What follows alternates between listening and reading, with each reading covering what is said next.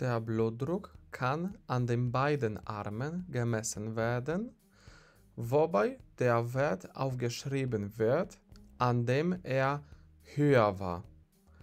Und an diesem Arm wird normalerweise der Blutdruck gemessen. Die Blutdruckmanschette legt man am Oberarm an. Der untere Rand der Manschette sollte sich 2 bis 3 cm über der Ellbeuge befinden.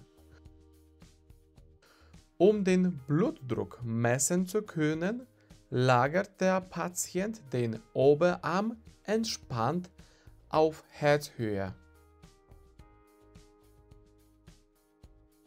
Mit einem elektrischen Blutdruckmessgerät ist das Blutdruckmessen viel einfacher.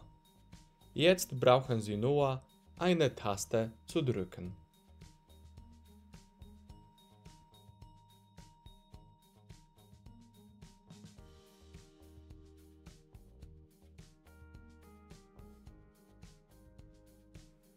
Der Patient sollte sich vor der Messung mindestens 5 Minuten lang ausruhen.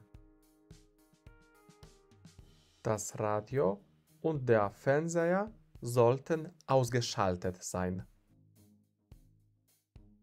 Der Blutdruck sollte morgens und abends zur gleichen Zeit gemessen werden. Sowohl Rauchen als auch Kaffee trinken können die Messwerte verfälschen.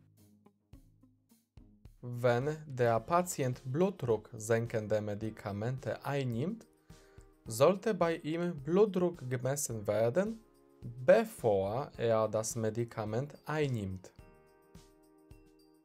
Notieren Sie nach dem Messen des Blutdrucks den Wert und informieren Sie sofort den Arzt, wenn der Wert zu hoch oder zu niedrig wird.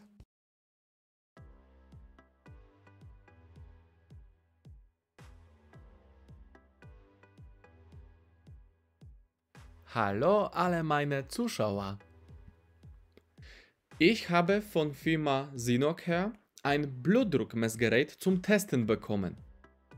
Ganz besonders habe ich mich über das Modell AES-U181 interessiert, das ich in diesem Video verwendet habe.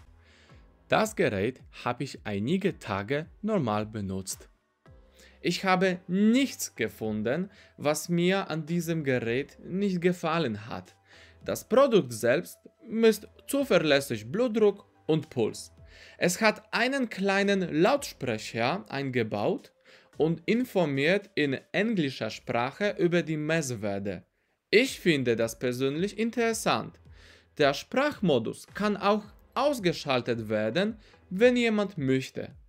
Der Link zu diesem Produkt und weitere detaillierte Informationen findet ihr unter meinem Video. Ciao!